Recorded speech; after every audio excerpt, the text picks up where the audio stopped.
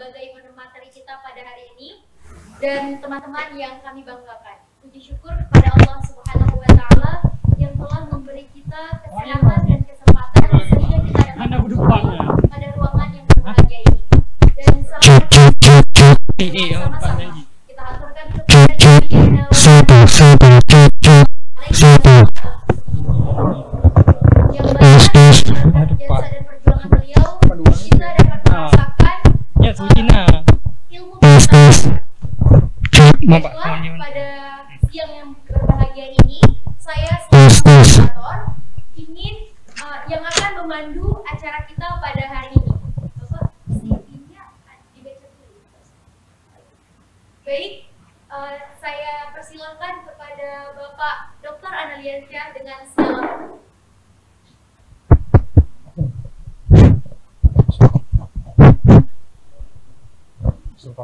bisa sil silau enggak? Kalau, silau bisa kemari aja. Yang susah kena matanya sayangnya. Bisa.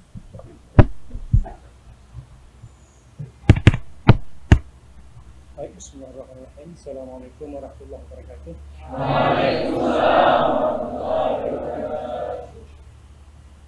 Eh, ini adalah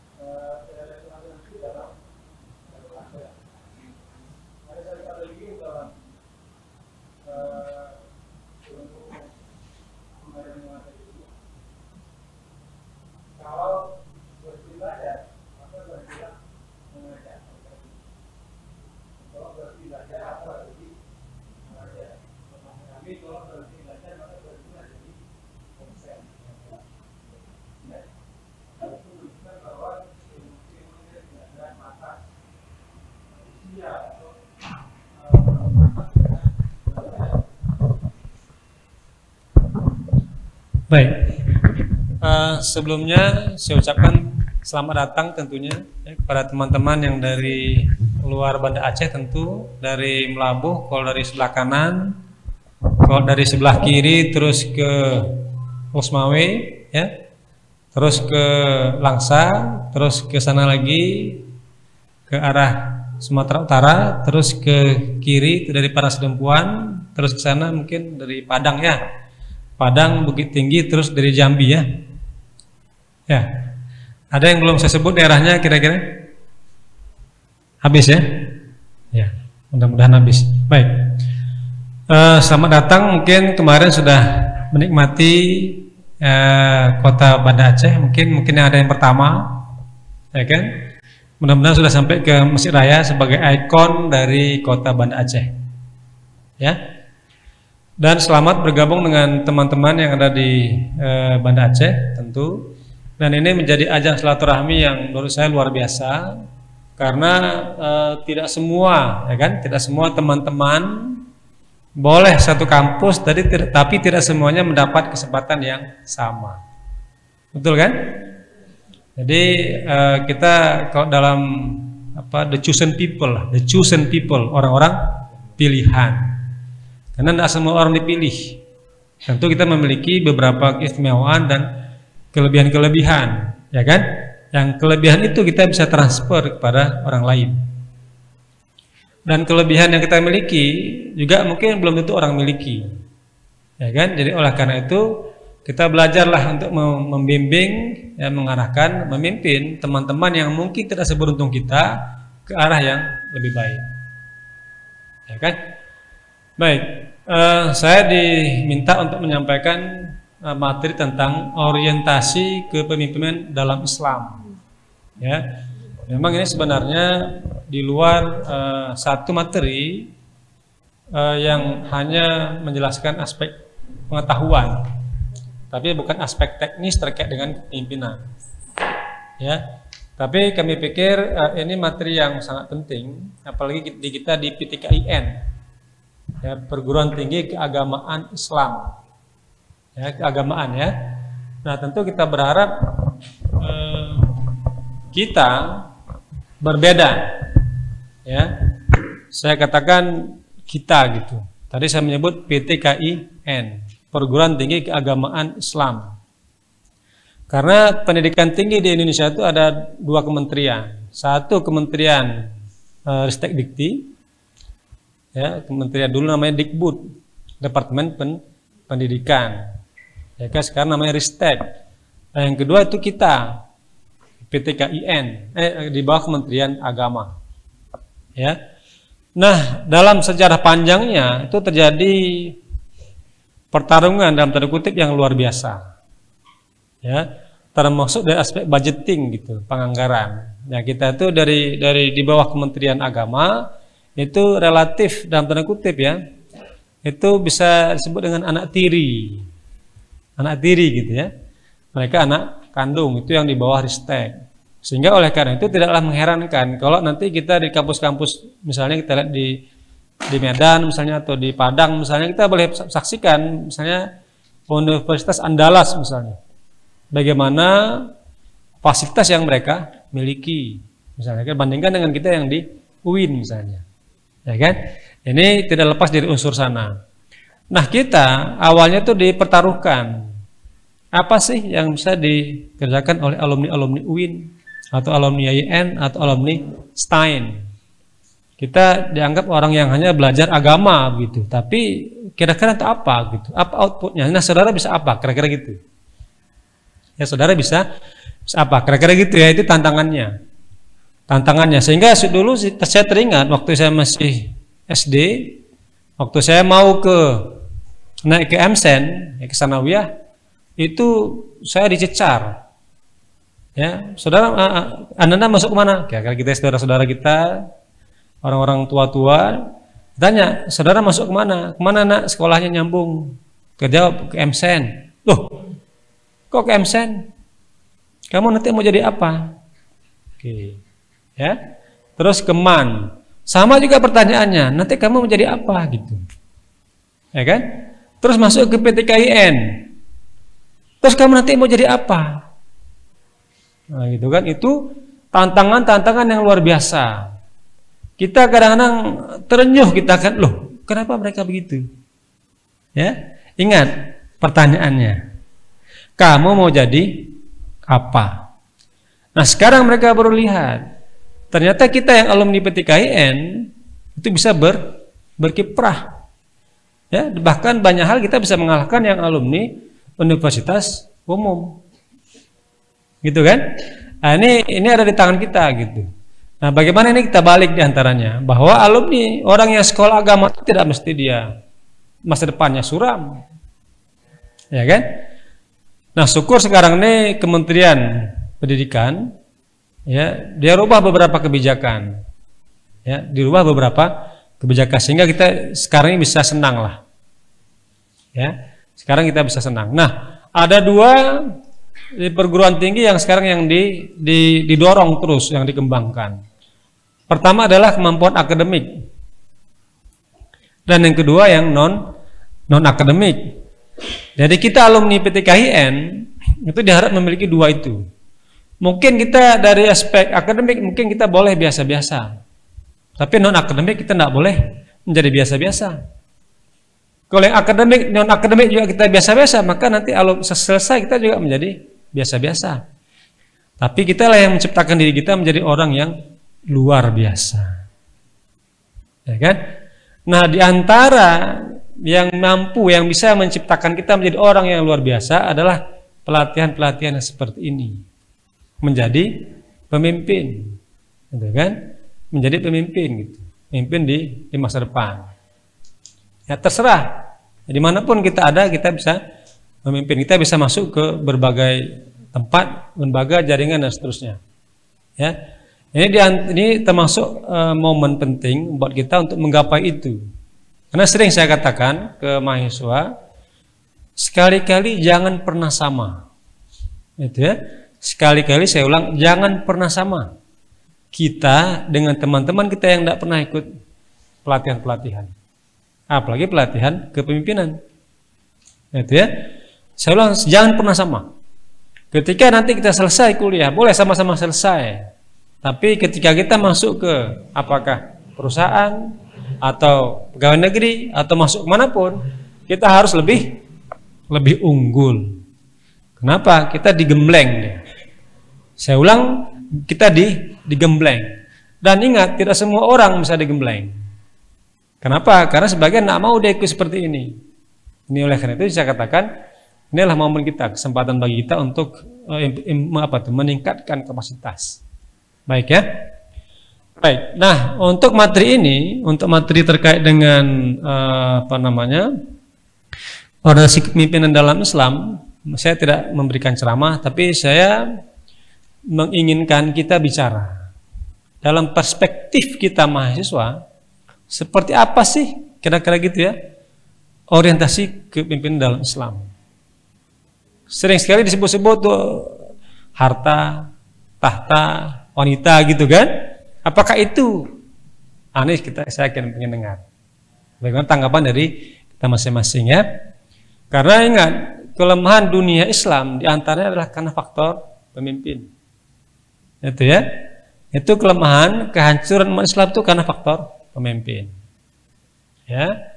Kemajuan, kejayaan umat Islam juga tergantung pada pemimpin.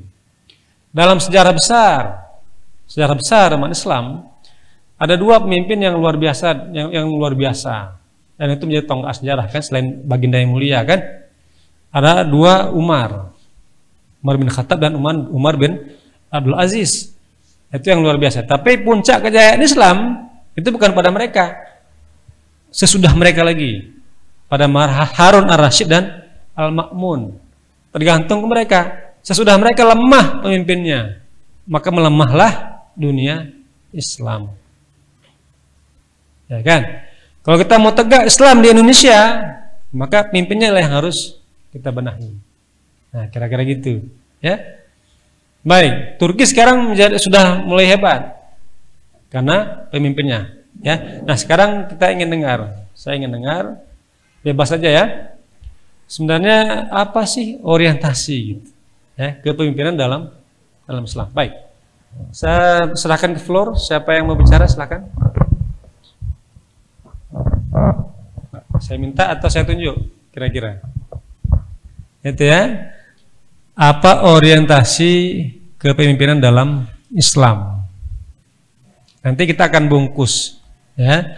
Nanti sama-sama kita akan bungkus di akhir. Kira-kira ini mana sih ini hasil karya kita? hasil karya LKMM tingkat uh, yang periode ini untuk me menyusun kira-kira apa orientasi yang baik untuk kepemimpinan dalam Islam. Silakan. Mau coba kira-kira? Ya, coba bismillah. Oke, belakang. Ya.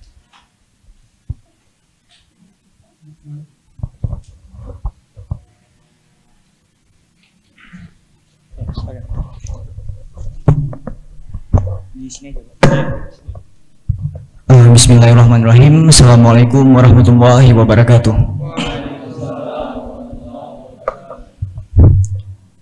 Um, yang saya hormati sebelumnya uh, pemateri Pak Aliansyah dan juga moderator dan juga saya hormati dan banggakan juga kawan-kawan seluruh peserta LKMMM tingkat nasional 2000 tahun 2022 Uh, jadi sebelumnya saya ingin memperkenalkan diri, uh, nama saya Zaid Falah, saya dari UIN Araniri uh, di Fakultas Sains dan Teknologi Prodi Arsitektur.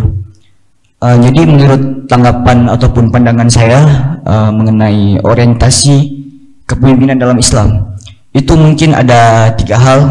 Yang pertama itu menjadikan ketika kita menjadi pemimpin, menjadikan hak wewenang ataupun kekuasaan kita itu dalam memimpin menjadikannya sebagai ibadah ibadah kemudian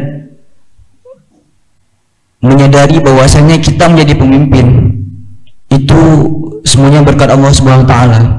Jadi apa pun itu jadikan ibadah kemudian jadikan arah orientasi kita sebagai bagaimana kita menjadi seorang pemimpin bisa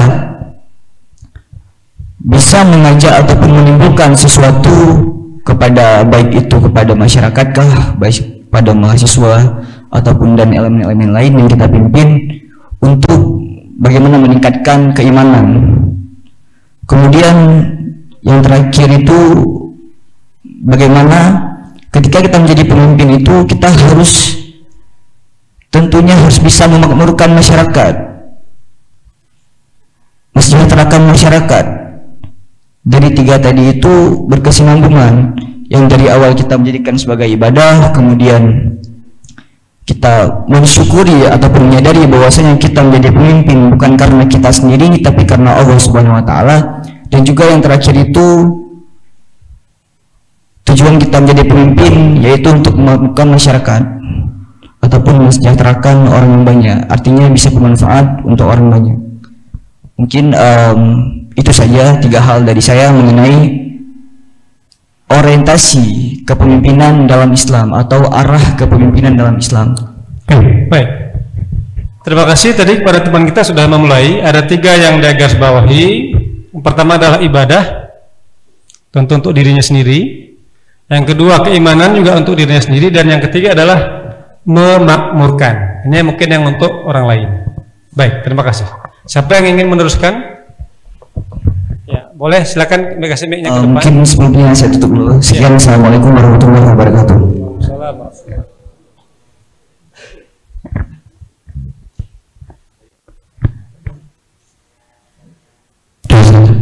Eh, Assalamualaikum warahmatullahi wabarakatuh. Salam warahmatullah. Eh, kami hormati Bapak Materi beserta moderator dan data notulensi eh, kepada seluruh peserta LKRM tingkat nasional. Eh, ke- kemudian saya ingin memberikan tanggapan tentang apa itu oh, kepemimpin orientasi kepemimpinan dalam Islam. Menurut saya pribadi, orientasi kepemimpinan dalam Islam adalah suatu uh, model kepemimpinan atau model kepemimpinan yang berlandaskan pada Al-Quran dan hadis, kemudian juga beberapa sejarah historis. Jika kita kaji dalam Al-Quran misalnya, secara terang menjelaskan kullukum ra'in, tiap-tiap kamu itulah pemimpin. Maka di hari kelak kepemimpinanmu itu akan diminta pertanggungjawaban. Jadi uh, kepemimpinan dalam Islam itu adalah suatu kepemimpinan yang berlandaskan terhadap Al-Quran. Al-Quran menjelaskan tentang kepemimpinan, begitu juga tentang hadis. Hadis juga menjelaskan tentang kepemimpinan. Kemudian uh, tentang faktor historis ataupun sejarah. Bagaimana kita belajar tentang hebatnya seorang Muhammad Al-Fatih dalam uh, menaklukkan suatu kota yang sangat megah pada saat itu itu menjadi sebuah catatan sejarah bagaimana hebatnya seorang tokoh Islam dalam memimpin sehingga saya pendapat kepemimpinan dalam Islam adalah kepemimpinan yang berasal berorientasi terhadap Al-Quran, hadis dan historis. Uh, sekian dari saya. Mohon maaf dan uh, atas segala kesilapan dan kekurangan. Wassalamualaikum warahmatullahi wabarakatuh. Assalamualaikum warahmatullahi wabarakatuh. Baik. Silakan kasih ke depan. Ya. Tadi saya garis bawahi ya oleh teman kita model itu merujuk kepada Al-Qur'an dan hadis. Ya. Ini eh, bukan ini bukan orientasi ya, tapi kita berpedoman. Ya, berpedoman kepada Al-Qur'an dan hadis. Baik, lanjut. Bismillahirrahmanirrahim. Assalamualaikum warahmatullahi wabarakatuh. Waalaikumsalam warahmatullahi Pertama hormat saya kepada pemateri Dr. Alansa dan juga moderator Notulensi beserta kawan-kawan peserta yang hadir baik dari ruang lingkup UIN Araniri maupun dari luar Universitas Islam Araniri yang datang dari jauh. Mungkin di sini tanggapan saya tentang orientasi kepemimpinan dalam Islam itu hanya empat. Hanya empat poin karena dari segi orientasi kepemimpinan itu adalah gaya memimpin atau leadership dalam pandangan Islam. Itu ada empat. Yang pertama itu adalah sidik jujur. Ketika pemimpin jujur maka tentramlah apa yang ia pimpin. Karena di dalam kepemimpinan itu adanya transparansi. Sehingga orang-orang yang dipimpin tahu ke mana arah dan tujuan dia memimpin itu. Dan yang kedua adalah tablir. Menyampaikan. Tablir artinya dia bisa menyampaikan apa yang memang betul-betul yang sidik tadi. Apa yang betul itu yang dia sampaikan. Dan yang ketiga adalah fatonah.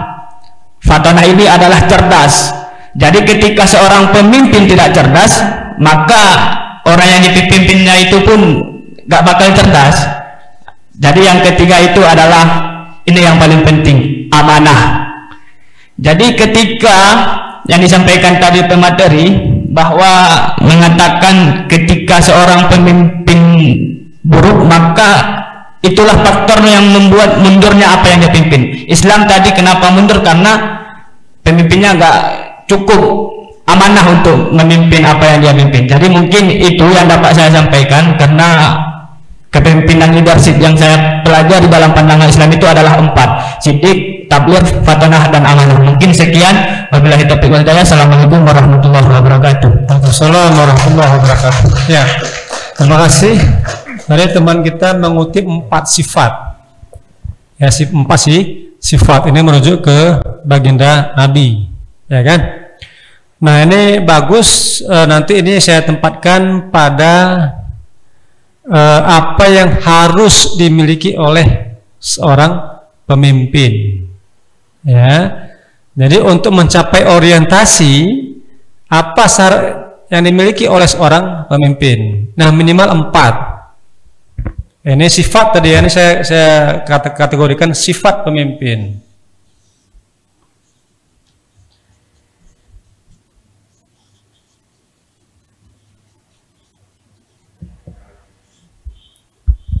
Baik. Uh, kita berikutnya siapa yang mau kasih pendapat? Ya, silakan. Di depan, di belakang dulu boleh Mahdi. Di belakang dulu boleh yang dekat dengan dengan itu cok. Setelah itu ke depannya.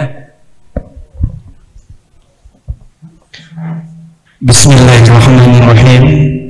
Assalamualaikum warahmatullahi wabarakatuh. Waalaikumsalam warahmatullahi wabarakatuh. Kasih pemateri telah memberikan kesempatan untuk saya sedikit berbicara. Perkenalkan teman-teman, nama saya Ilham Rizky Maulana SK. Saya berasal dari Fakultas Sederhana, sangat sederhana, Fakultas Usuluddin dan Filsafat UIN Araniri Bandung C. Mungkin yang disampaikan oleh teman-teman sudah sangat luar biasa. Ibadah, keimanan, memakmurkan dan plus empat sifat baginda Nabi besar Muhammad Sallallahu Alaihi Wasallam. Mungkin satu tambahan dari saya Pak yang harus dimiliki oleh pemimpin. Kita berbicara orientasi, berbicara soal arah. Tentunya seorang pemimpin itu harus memiliki gagasan perubahan. Itu tambahan dari saya Pak.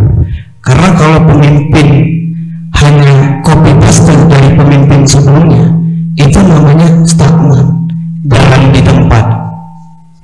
Maka pemimpin harus memiliki konsep dan gagasan membawa apa yang dipimpin ini ke arah yang lebih baik ke depannya. Itu yang perlu dimiliki oleh pemimpin Mungkin kalau orientasinya itu sedikit dari saya Pak. Lebih dan kurang saya mohon maaf bila ada salah kata. Wassalamualaikum warahmatullahi wabarakatuh. Assalamualaikum warahmatullahi wabarakatuh. Kami terima kasih pada teman kita dia menambahkan orientasi perubahan. Ya, artinya berpikir masa depan. Ya, artinya punya visi, visioner, bahwa masa depan itu harus lebih bagus dari masa masa hari ini. Ya kan? Cuman itu ini saya golongkan seperti usul tadi ini saya golongkan ke karakter atau sifat yang harus di, di, dimiliki oleh seorang pemimpin. Ya? Oke nah sekarang kita kembali ke ke, ke, ke itu lagi. Kira-kira apa orientasinya? Oke silakan. Oke, baik. Assalamualaikum warahmatullahi wabarakatuh. Waalaikumsalam warahmatullahi wabarakatuh. Uh, perkenalkan Mbak, uh, kawan-kawan, nama saya Khairuddin. saya dari UIN Negeri, Prodi Ilmu Ekonomi, FEB UIN Negeri. Baik, mungkin dari kawan-kawan tadi tanggapannya sangat-sangat bagus dan pun dari rekan saya tadi, grup Fakultas Hukum uh. Uh, baik, mungkin saya mencoba rangkum Pak ataupun mencoba tarik uh, dari beberapa yang pendapat dari kawan-kawan tadi berbicara orientasi kepemimpinan dan Islamnya. Itu ada tiga poin. Nah berbicara orientasi seperti yang disampaikan tadi itu kita bagaimana menentukan arah. Nah kepemimpinan seperti yang disampaikan kawan kita juga gaya kepemimpinan ataupun seni dalam kita memimpin. Kemudian kita kaitkan dalam keislaman kita. Nah dari yang pertanyaan yang sudah ditampilkan di depan itu apakah orientasi kepemimpinan itu adalah kekuasaan harta dan wanita sah-sah saja. Bagaimana kita menentukan arah ke mana kita akan bawa kepemimpinan itu? Kepemimpinan dalam Islam kita kaitkan dengan kekuasaan. Kekuasaan di saat kita memimpin ataupun diberikan jabatan maka bagaimana kita kembali mengembalikan kepada Al-Quran dan hadis. Itu. Kemudian juga dalam harta dan wanita. Juga itu kita kaitkan semuanya ke dalam model tadi Quran dan hadis. Kemudian dalam kemungkinan juga itu ada beberapa sifat jika dalam Islamnya dalam keislaman itu ada empat sifat sidik amanah tabligh dan tanah dan jika jika kita buka-buka teori lagi itu dalam kepemimpinan juga ada berbagai gaya gitu. Maka kita kaitkan lagi berbagai gaya itulah dimaksud dengan perubahan itu. Nah setiap pemimpin itu memiliki gaya berbeda-beda memiliki gaya masing-masing. Nah Makanya sebetulnya dalam teori pemimpinan itu sudah ada gaya masing-masing. Cuman yang dimaksud perubahan yang saya tanggap tadi itu dari pemimpinan ini kemudian dilanjutkan itu mesti ada perubahan dengan cara gaya-gaya mereka tersendiri. Nah, mungkin itu saja Pak. Demikian Assalamualaikum warahmatullahi wabarakatuh.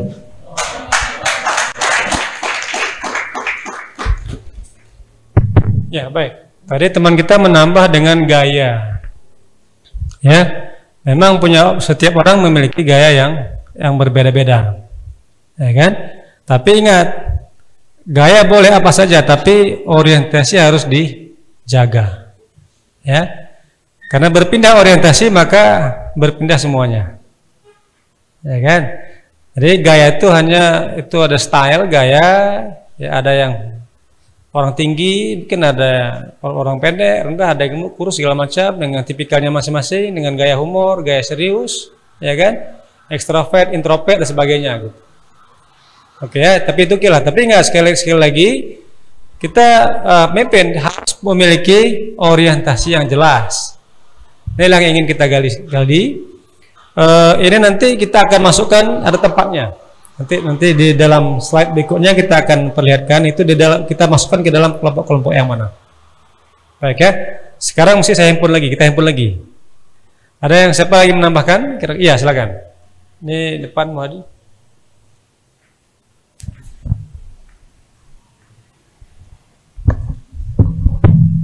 Bismillahirrahmanirrahim. Assalamualaikum warahmatullahi wabarakatuh. Waalaikumsalam warahmatullahi wabarakatuh. Uh, terima kasih kepada pemateri yang telah memberikan saya kesempatan untuk memberikan tanggapan. Sebelumnya perkenalkan nama saya Febrin Syahputra dari Fakultas Syariah dan Hukum Prodi Ilmu Hukum Universitas Islam Negeri al Uh, tanggapan yang telah diberikan teman-teman sekalian sudah sangat luar biasa. Tapi di sini saya ingin menambahkan bahwa seorang pemimpin itu sebuah seni mempengaruhi orang lain untuk menuju atau mencapai tujuan bersama. Dan di sini jika kita jadikan Rasulullah sebagai acuan atau pedoman, Rasulullah bukan hanya mempengaruhi sekelompok orang untuk mencapai tujuan tersebut, akan tetapi Rasulullah menanamkan rasa cinta, rasa habba sehingga kelompok tersebut melakukan apa pun yang diberikan atau diperintahkan Rasulullah itu dengan ikhlas. Jadi di sini saya ingin saya tambahkan bahwa seorang pemimpin itu harus bisa harus mampu mempengaruhi temannya atau kelompoknya untuk cinta terhadap kelompok tersebut dan cinta terhadap tujuan yang akan dicapai bersama-sama. Karena jika suatu kelompok bergerak dengan rasa cinta dan rasa ikhlas, pastinya kelompok tersebut dan kepemimpinan tersebut akan menjadi lebih baik seperti Rasulullah Wasallam yang menjadi acuan role model kepemimpinan dalam Islam. Sekian dari saya. Wassalamualaikum warahmatullahi wabarakatuh.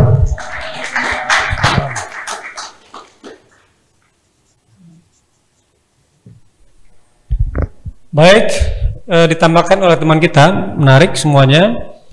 Harus mampu mempengaruhi. Ini saya garis bawahi ya. Mampu mempengaruhi. Jadi ya, untuk mencapai orientasi yang diinginkan, dia harus mampu mem- mempengaruhi paling kurang dirinya, orang-orang yang di sekitarnya dan diharapkan seluruh masyarakat itu dia pengaruhi untuk mencapai goal tadi, untuk mencapai itu tujuan. Ya, untuk mencapai orientasi.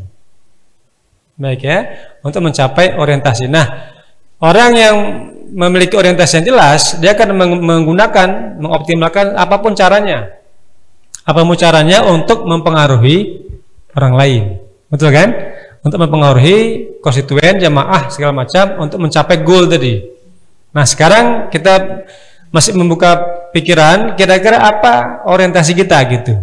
Sehingga eh, kita mengoptimalkan segala kemampuan yang kita miliki atau oleh siapa pun untuk mencapai goal tadi.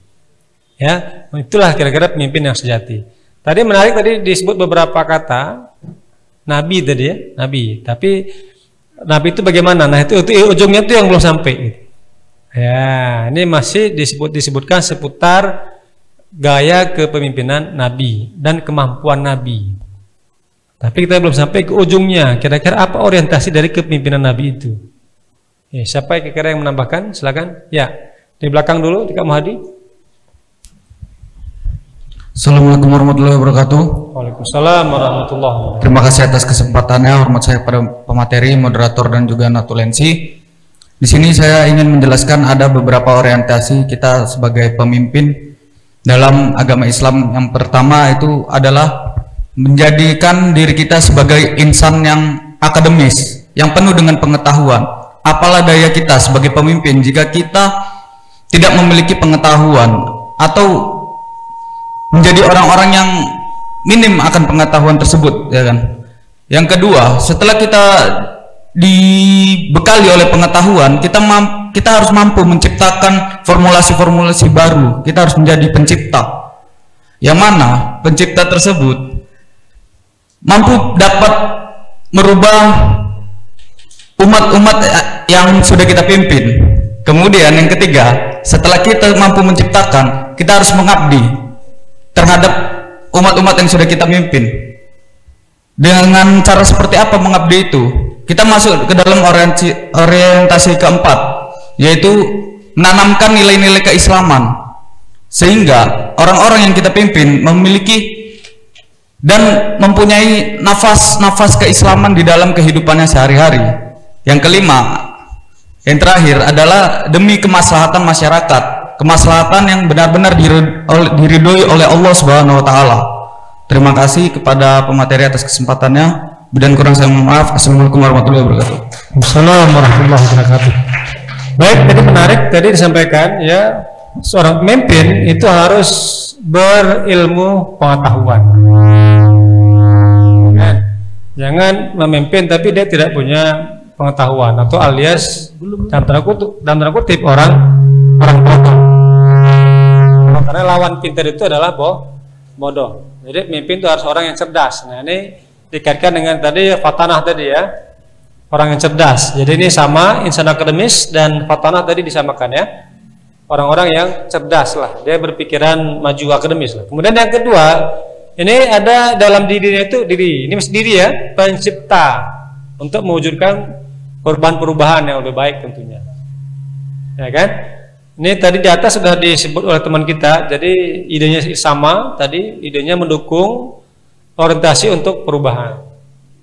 Nah, yang ketiga ditambahkan ada da- dalam dirinya itu jiwa pengabdi. Ya, jiwa pengabdi itu lawannya lawannya adalah bos. Nah, itu kalau mau kita kita kontraskan, jadi supaya mudah kita pahami apa itu pengabdi pak gitu. Pengabdi itu lawannya adalah bos. Ya, melay- pengabdi kan melayani kan. Jadi pemimpin dia harus melayani orang yang dipimpinnya, bukan minta selalu di, dilayani, kira-kira gitu. Orang yang dilayani adalah bos.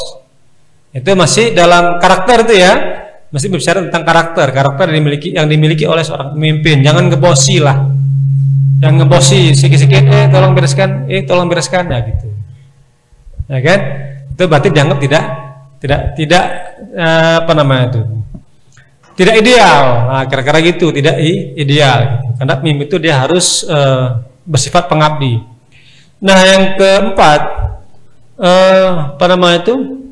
Menerapkan nilai-nilai keislaman. Nah ini untuk masyarakatnya. Jadi menciptakan masyarakat agar masyarakat itu memiliki nilai-nilai ke keislaman. Kira-kira gitu ya jadi dalam pendapat yang ketiga eh, yang terakhir ini tiga itu dimiliki oleh personalnya yang keempat, ini untuk orang lain.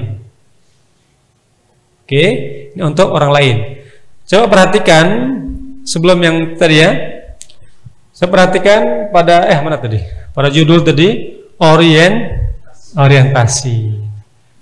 Orientasi adalah sesuatu yang ingin dicapai. Sesuatu ya, sesuatu yang ingin dicapai. Untuk mencapai itu perlu persiapan.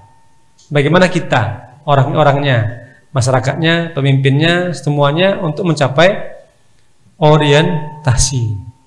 Nah, Nabi apa orientasinya? Kira-kira gitu. Untuk mencapai orientasi apa yang dimiliki oleh oleh Nabi. Nah, nanti kita gitu juga. Nanti kita bisa lihat apakah pemimpin yang ada sekarang baik di tingkat lokal, nasional maupun internasional terpenuhi tidak. Pertama unsur pribadinya, yang kedua orientasinya sesuatu yang ingin dia capai. Nanti kita akan kelas balik ke sejarah, nanti kita akan lihat. Baik, sebelumnya silakan ya. Mahdi mic-nya. Oh, sudah.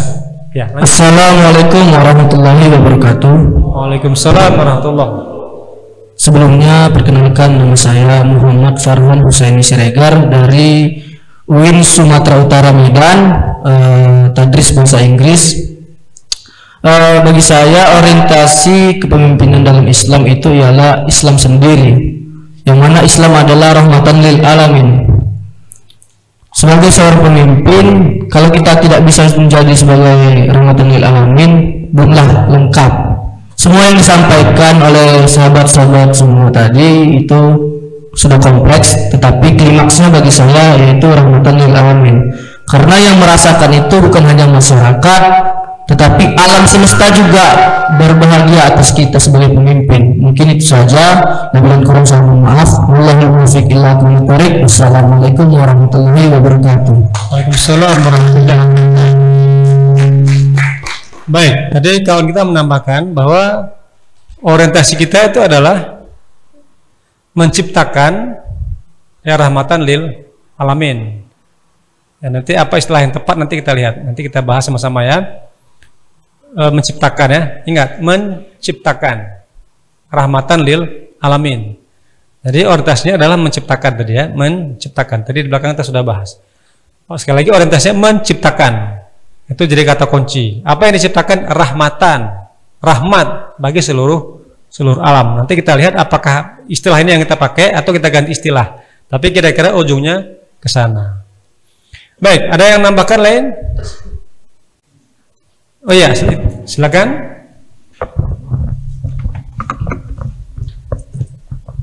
Baik, Bismillahirrahmanirrahim. Assalamualaikum warahmatullahi wabarakatuh.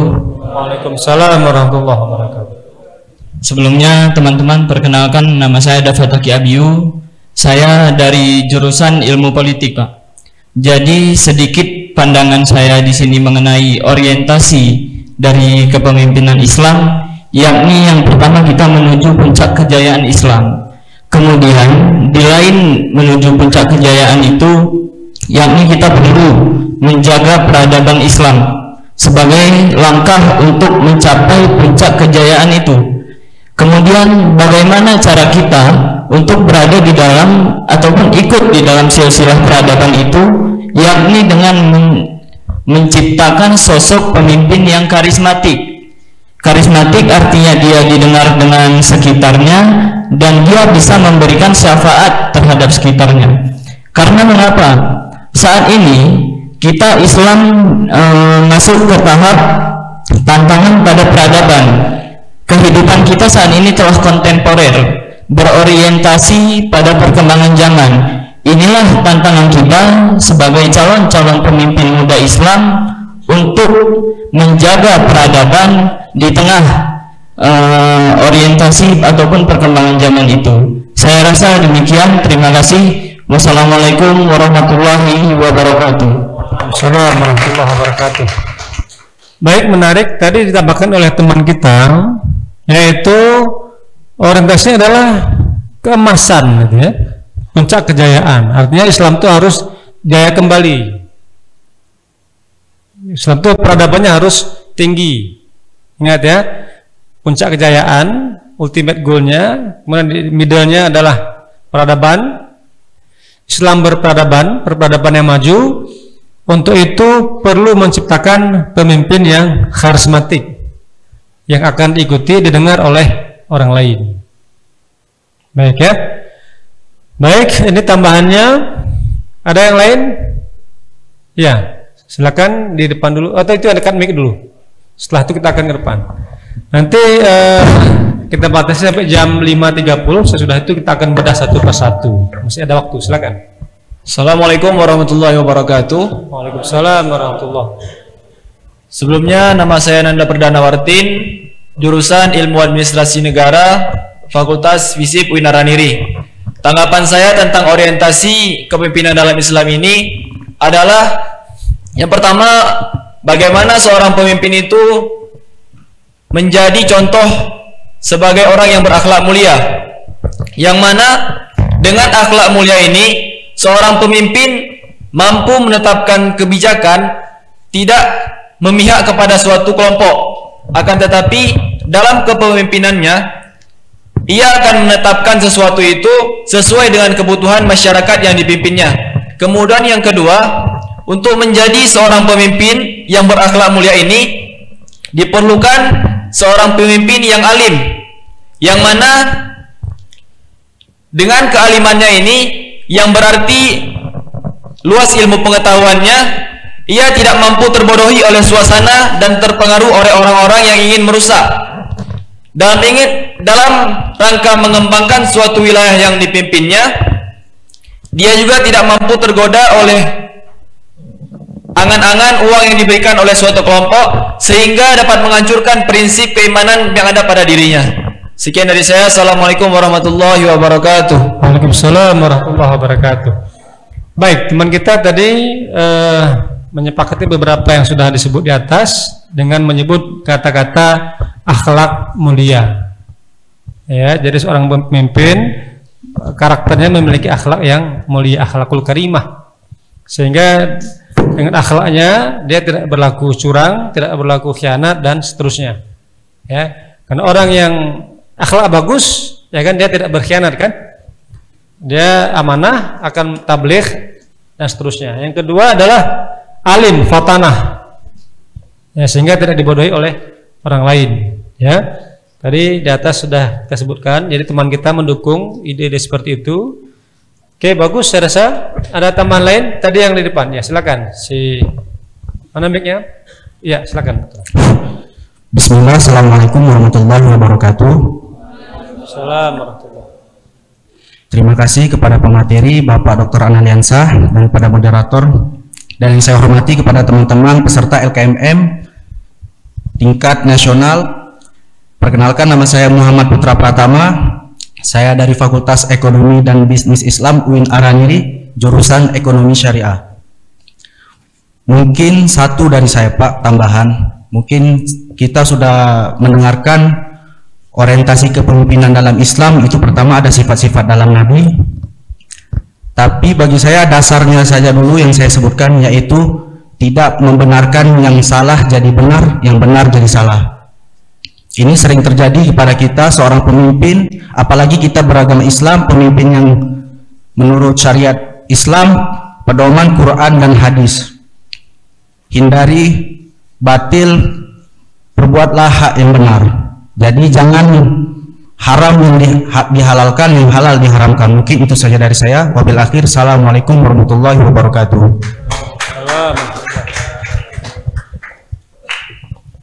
Ya, ini teman kita menambahkan bahwa pemimpin itu harus memiliki karakter tegas.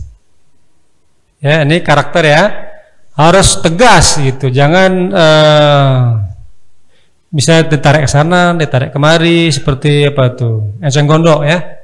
Keman air mengalir, ikut orang bilang ini bagus pak, dia bilang bagus. Ini benar pak, dia bilang benar, walaupun salah kan. Nah, ini, jadi karakter pemimpin itu ini mesti karakter ya, harus memiliki karakter yang tegas. Ini salah salah, ini benar benar. Jangan diadu-adu, ya kan? Jangan diadu-adu. Nah, baik. Baik, ini tambahannya saya rasa bagus. Ini karakternya, ini boleh saya tambah, saya rubah menjadi tegas. Tegas yang benar ya, bukan tegas yang salah. Ada juga, tapi benar tegas yang salah. Ada juga, walaupun salah dia tetap tegas. Baik, ada yang meneruskan? Ya, silakan. Setelah itu ke depan. Baik, perkenalkan nama saya Muhammad Zul Al Faruqi Surah. Saya kuliah di UIN Araniri, jurusan Pendidikan Bahasa Inggris. Eh, yang saya hormati Dr. Analiansyah dan yang saya banggakan teman-teman seperjuangan. Saya sangat bersemangat hari ini karena melihat banyak sekali eh, suara dan tanggapan dari teman-teman sekalian terhadap orientasi kepemimpinan ini. Orienta menurut saya orientasi kepemimpinan ini tidak terlepas dari pemimpin itu sendiri. Kata Andi Haryanto yaitu eh, anggota MPR RI pemimpin itu dia mengetahui arah jalan kemudian dia mengajak orang untuk berjalan di jalan itu sudah tahu jalan dan mengajak orang untuk mengikuti jalan itu dia berada di jalan itu nah sebenarnya simpel saja kalau uh, melihat uh, pemimpin itu Tanda pemimpin itu apa? Punya pengikut.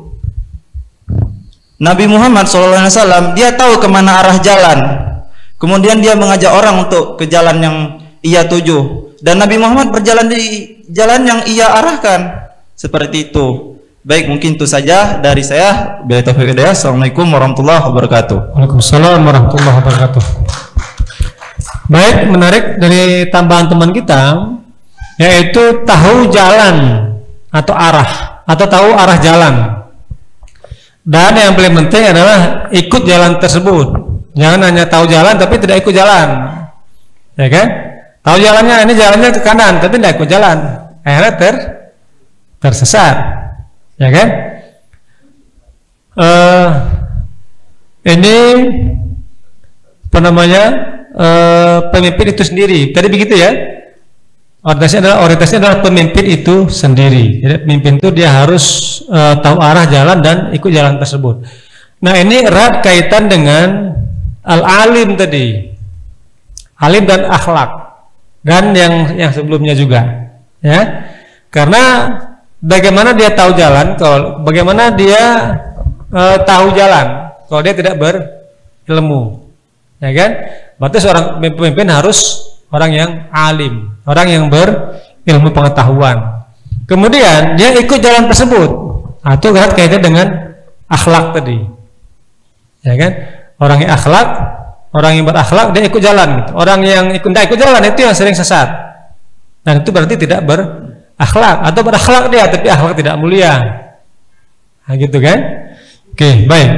Terdengar tadi satu lagi? Siapa? Iya, silakan. Ya, Assalamualaikum warahmatullahi wabarakatuh.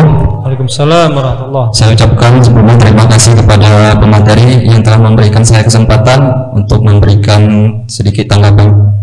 Nah, sebelumnya perkenalkan nama saya Uwin Rahman, saya dari Prodi Pendidikan Teknik Elektro, Fakultas Tarbiyah dan Keguruan. Nah, saya ingin menambahkan Pak uh, untuk di sini uh, percaya diri saja Pak. Nah, untuk percaya diri. Uh, percuma kita mengetahui bagaimana karakter untuk menjadi seorang pemimpin tetapi kita tidak percaya diri untuk menjadi seorang pemimpin tersebut lalu kita mampu memimpin diri kita sendiri sebelum kita menjadi pemimpin bagi orang lain. Mungkin itu saja dari saya, kurang lebih saya mohon maaf. Assalamualaikum warahmatullahi wabarakatuh. Waalaikumsalam warahmatullahi wabarakatuh. Ya, baik. Baik, ini ada yang perempuan di tangan. Tadi saya, saya jelaskan dulu. Percaya diri eh, kita teman kita usulkan. Nah, itu erat kaitan dengan eh, apa namanya atau kita kita pisahkan Nes dari yang sebelumnya ya.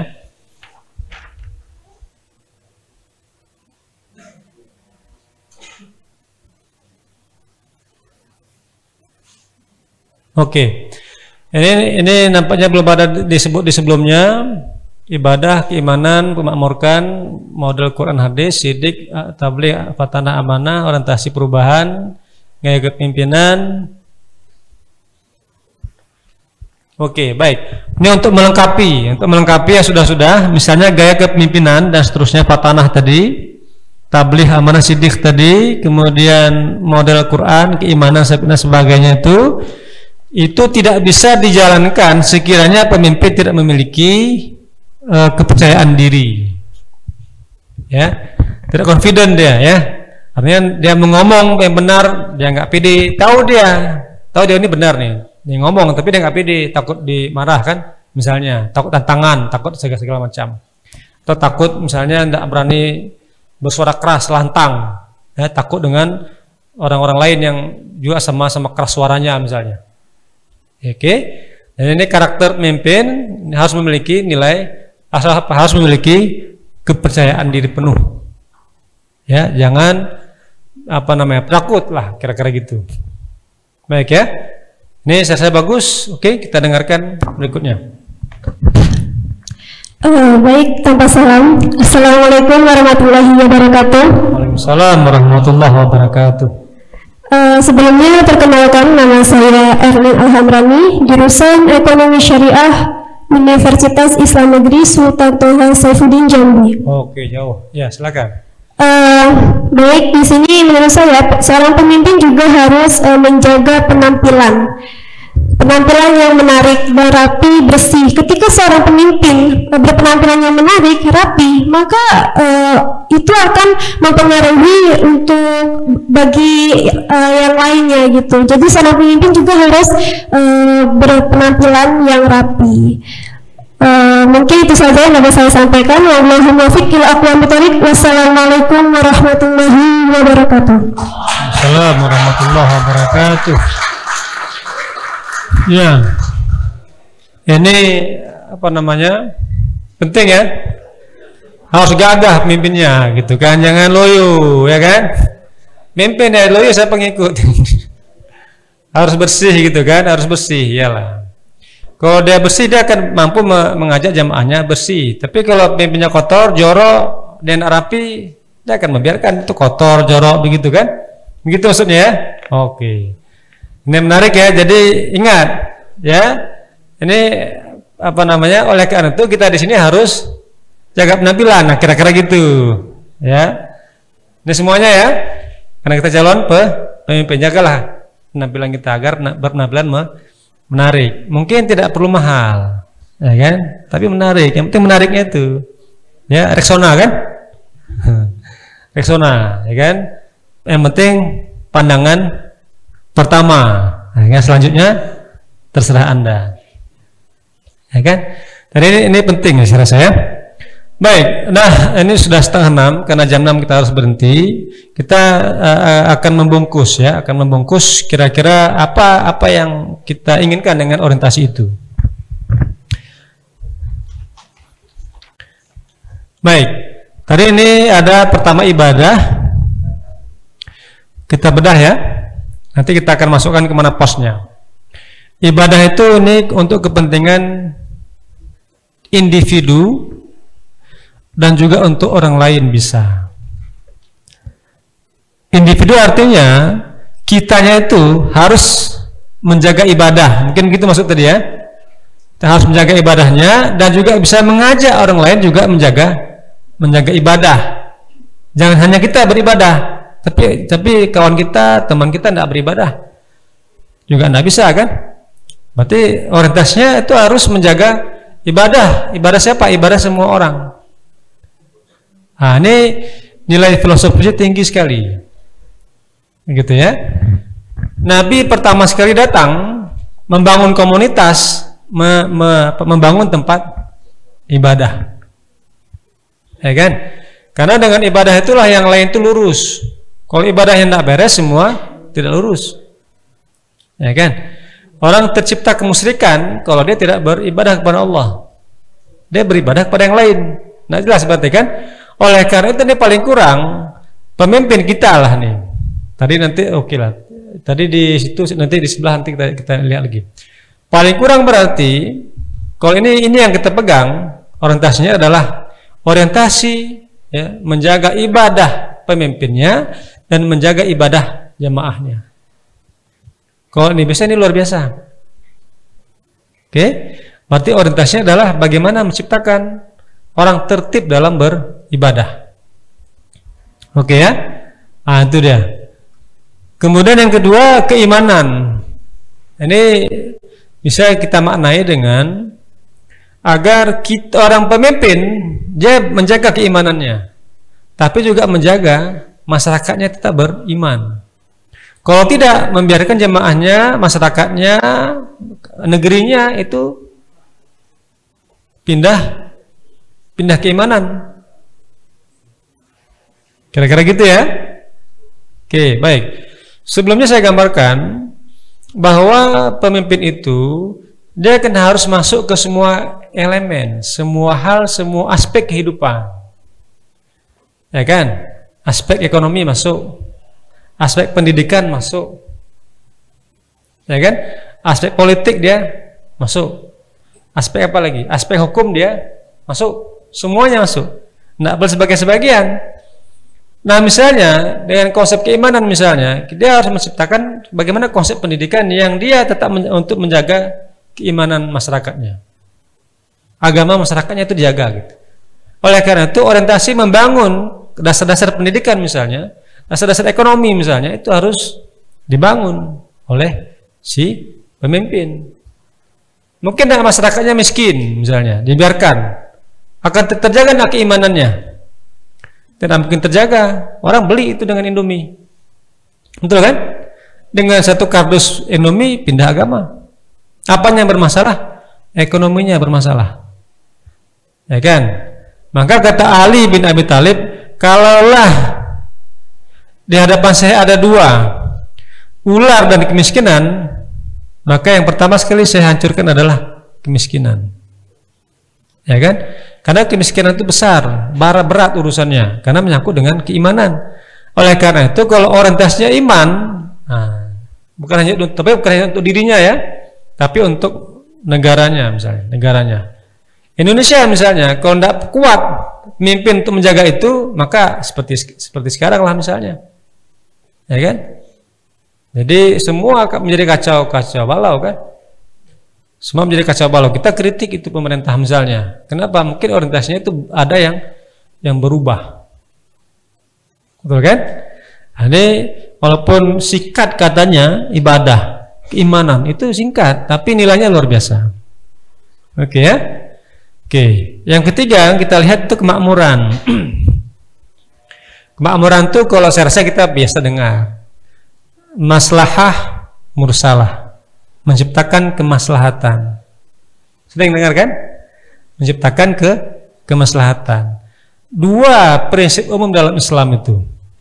Yang pertama adalah jalbul masalih, menarik segala kemaslahatan. Yang kedua darul mafasid, menolak segala kemudaratan. Itu kira-kira dan ini yang tiga ini kita bisa jadikan sebagai orientasi pokok. Ya bisa bisa menjadi orientasi pokok. Seharusnya yang pertama itu bukan ibadah, naikkan. Yang kedua itu yang pertama, akidahnya. Nah, kira-kira gitu, ya kan? Akidahnya, baru kemudian ibadahnya. Apa yang ketiga? Akhlaknya. Nah, itu ya. Kalau yang ngaji di pesantren itu dapat. Kalau kita ngaji-ngaji di surau itu ketemu Pertama adalah akidah. yang kedua ibadah, yang ketiga akhlak. Tapi itu itu itu menjadi orientasi.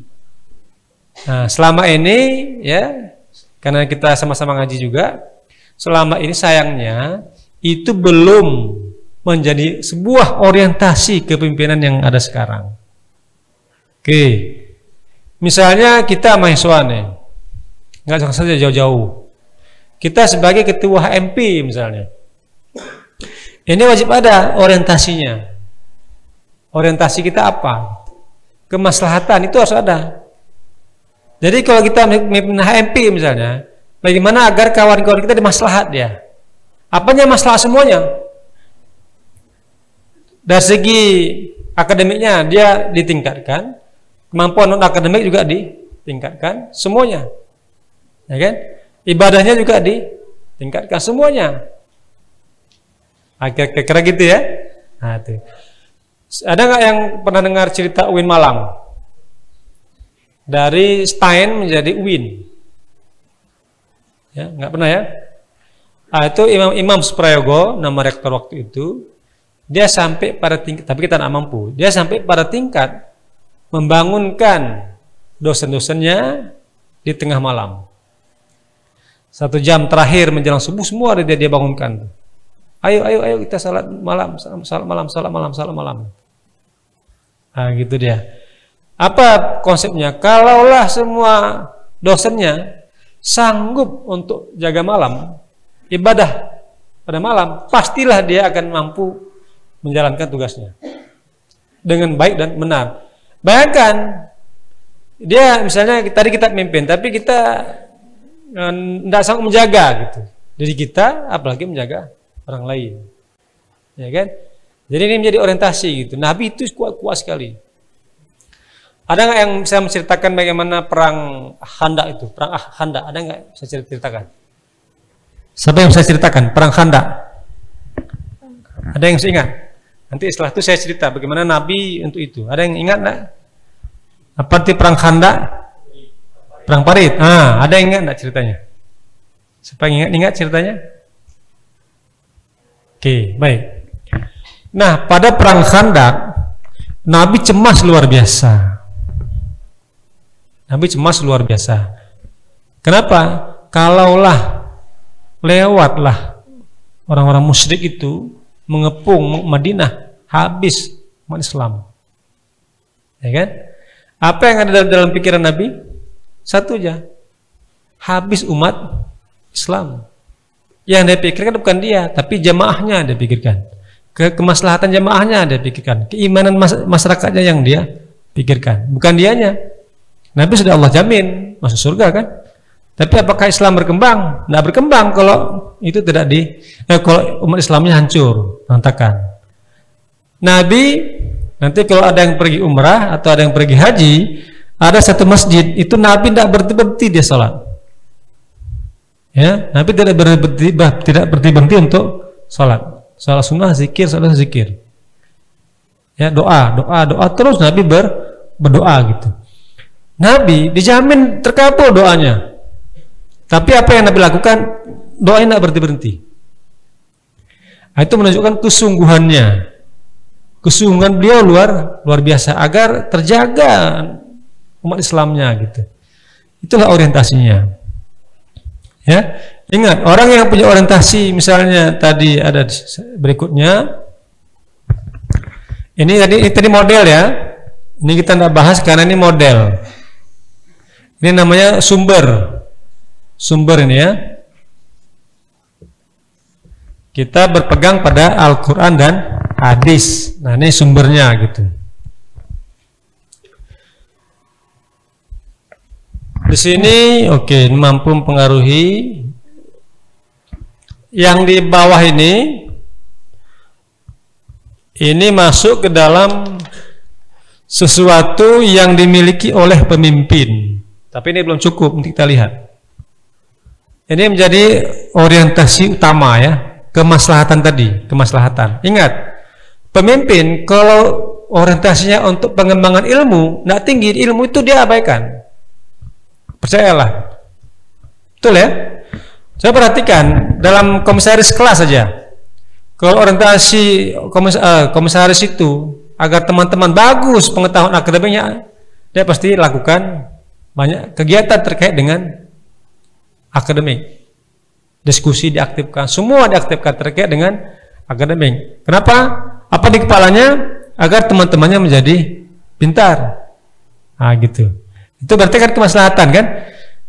Jadi pemimpin itu, itu haruslah ini ya, orientasinya. Jadi ilmu tadi tadi ingat menarik saya tadi disebutkan pemimpin harus berilmu, betul kan? Tapi tidak cukup, tidak cukup dia berilmu. Nah, itu yang kita mau. Tapi apa? Orang lain juga berilmu. Negara juga harus jaya dengan dengan ilmu. Nah, gitu dia. Maka tidak heran kalau kita baca sejarah Islam, bagaimana Harun ar-Rasyid itu, ya kan? Harun ar-Rasyid ya di kalau di Eropa itu masih era kegelapan, tapi di, di Baghdad sudah era keemasan, ya.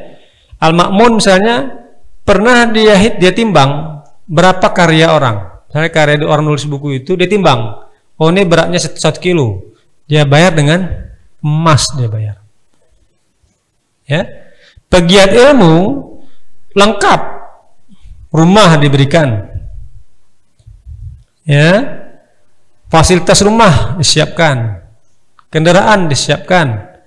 Pendidikan anak-anak jamin. Tugasnya apa? Hanya untuk menerjemahkan ilmu. Maka jaya. Maka jaya. Nah sekarang saya perhatikan negara-negara yang maju bagaimana perhatian terhadap ilmu? Ya kan? Malaysia kenapa maju era 60-an Malaysia belajar ke Indonesia sekarang terbalik kan sekarang coba tanya sama orang-orang yang pernah mengajar di Malaysia. Rumah disiapkan Malaysia itu gaji dosen besar. Ke mana-mana diantar, dijemput. Anak-anak disiapkan sekolahnya. Apa tugas dosennya? Hanya membahas masalah ilmu. Nah, itu kan? Maka mereka melejit. Ah, kita belum. Nah, kita belum. Kenapa? Orientasi pemimpin negara kita belum sekuat mereka. Ah gitu dia. Ya, belum sekuat belum sekuat mereka. Oke ya. Nah, itu jadi tadi orientasi gitu. Uh, kemaslahatan misalnya aspek ekonomi misalnya. Ya kan? Kita orientasi pemimpin untuk memakmurkan ekonomi masyarakat itu masih tanda tanya besar. Yang ada adalah menumpuk kekayaan. Maka tidak saya katakan apakah pemimpin hanya untuk kekuasaan dan kekayaan? Ah, itulah dia. Ya kan? Bacalah berita sering-sering, kritisi berita itu. Apa yang terjadi? Ya kan? Pemimpin yang jelas orientasinya untuk untuk kemaslahatan di bidang ekonomi tidak akan membiarkan ada penimbunan-penimbunan. Ya kan? Sekarang orang kelas bawah menjerit. Kenapa menjerit? Harga pada mahal. Kenapa harga mahal? Transportasi mahal. Kenapa mahal transportasi? Karena minyak. Minyak mahal. Atau minyak langka. Sudah mahal langka pula. Karena barang. Tidak ada barang. Tidak ada tidak ada barang. Apa apa konsekuensinya? Masyarakat menjerit. Kenapa? Orientasi pemimpin belum ke arah kemaslahatan di bidang ekonomi. Ah gitu dia ya kan? Itu itu kejadian gitu. Maka saya bilang tadi orientasinya harus jelas. Ya kan? Di perguruan tinggi misalnya. Ya perguruan tinggi misalnya. Kalau kita misalnya ketua HMP misalnya kita akan dikasih uang tuh. Negara menyiapkan uang untuk pengembangan organisasi HMP misalnya. Kalau misalnya kita tidak ada niat orientasi yang jelas yang clear apa kira-kira program yang mau kita ciptakan kemaslahatan apa yang mau kita ciptakan kita nggak jelas ke mana uangnya itu betul kan ada uang kita kan HMP kan tapi karena uang itu nah, hilang atau dia programnya program-program hanya untuk me mengambil uang saja. Ya, itulah sebabnya maka orientasi kepemimpinan dalam Islam itu harus kuat. Tadi saya senang tadi mendengar harus kuat dia, harus pede. Harus apa tadi kan tadi banyak kita sebutkan kan? Atau konsep-konsep yang kita tawarkan dan itu menarik menurut saya.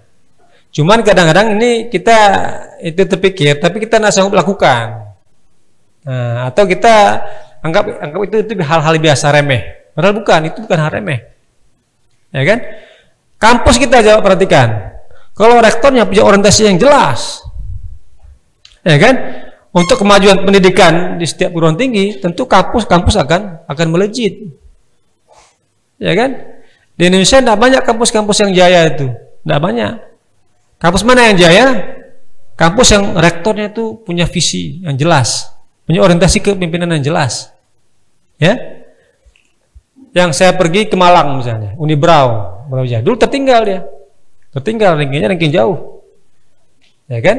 Begitu dipimpin oleh Prof Nasir, berubah orientasi, berubah semuanya, ya. Ditantang dia, Prof, kami sudah senang sama Prof menjadi rektor, mundurlah. Apa dia bilang? Boleh. Kalau saya saya punya visi tidak didukung, banyak orang marah saya mundur. Banyak orang marah juga dengan orang yang memarahi beliau. Oh, tidak bisa. Kalau diserahkan ke kelompok lawan, kelompok lawan orientasinya jelas. Mementingkan kelompok sendiri. Itu kan? Itu yang membuat kampus kita tidak maju. Orientasi kepemimpinan apa? Kekayaan, kekuasaan. Mementingkan kelompok sendiri. Nah, maka mana maju? ya kan? Maka tidak ah, tidak maju. Hmm. padahal kita punya prestasi mahasiswa itu luar biasa. Ah gitu kira-kira. Maka ini orientasi paling penting. Kan? Kita ini nanti politisi. Wah banyak politisi sekarang?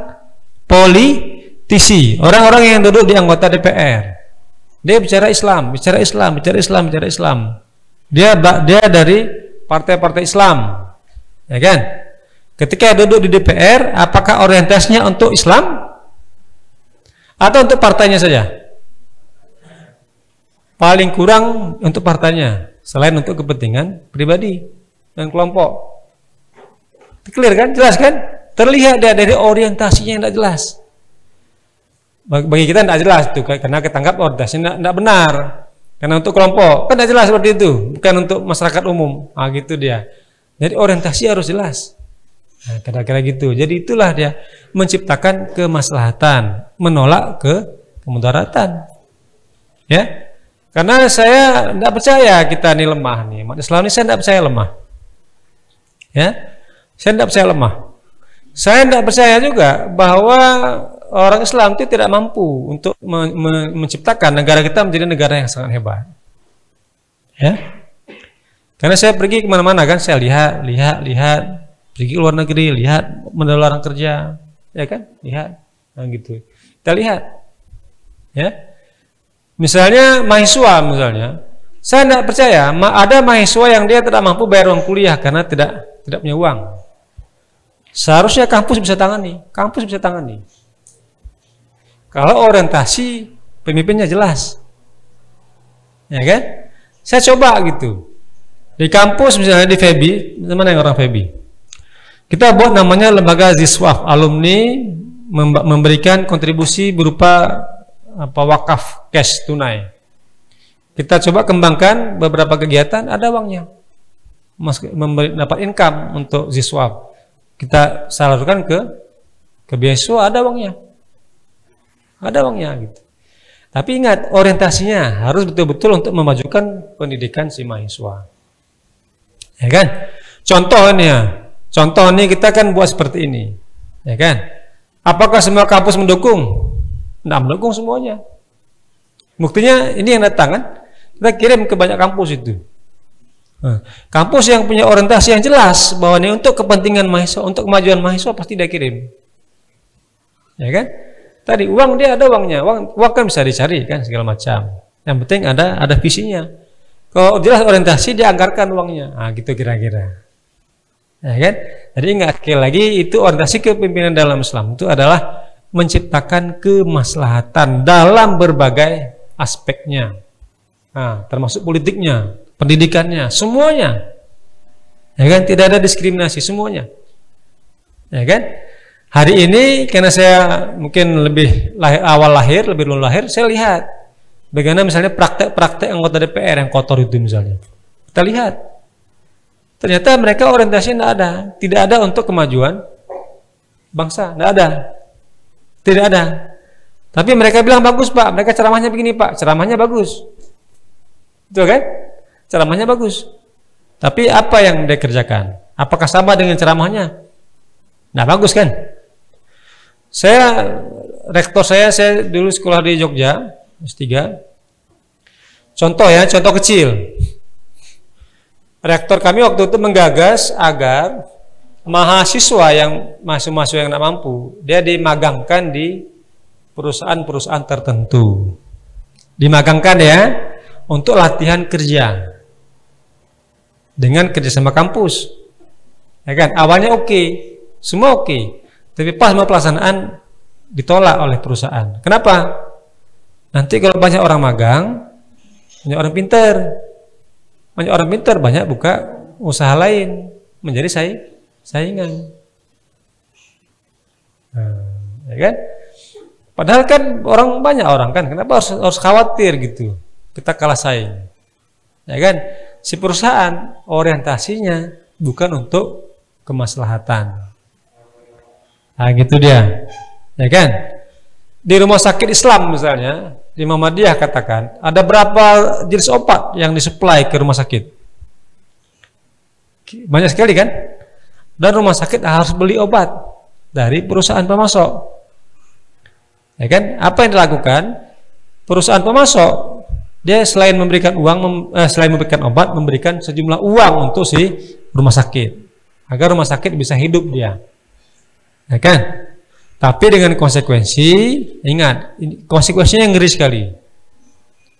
Rumah sakit harus tergantung 100% kepada si pemasok obat.